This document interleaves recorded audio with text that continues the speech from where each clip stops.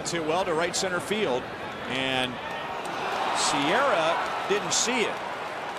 And this is going to end up being a triple for Salvador Perez. Sierra didn't see it right away, and then it looked like he did see it and was still pulling away when the ball went sailing by him.